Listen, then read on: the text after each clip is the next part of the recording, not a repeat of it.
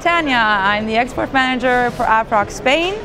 Uh, we are here at the DISTREE uh, with our brand new gaming brand Keep Out, a product that was launched a year and a half ago, a product of high quality, high specification within a very aggressive price. Well, we focus on uh, gaming peripherals, so our product range includes uh, mouse, headsets, keyboards, power supplies. Uh, we will soon be launching at the end of Q3 a gaming tablet that is currently under development. We're also working on developing a smartphone, a gaming smartphone. So lots of interesting and, and new ideas to come from Keep Out.